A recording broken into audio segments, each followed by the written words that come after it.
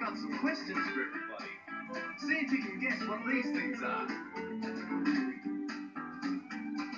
What's really cool and keeps things very cold? It's wine and it's where your food can live. When you open up the door, the light always comes on. It's in the kitchen. Yep, it's the fridge. What's next, Greg? There comes one you. What has four legs and a very flat top?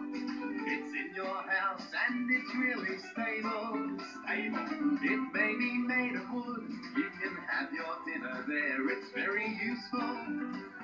It's a table. Oh, a table. Yeah, see if you can guess this next one. What's next, Greg? What's really soft and very warm you to lay your head. Oh. It's got blankets and sheets. It's where you go to sleep. I think you guessed it. Yep, it's the bed. A bed. Yeah, it's very cozy. Oh, no, Greg. What? Have a listen. Jeff's falling asleep. Jeff's always falling asleep. Oh dear. Can you hear that snoring? I sure can.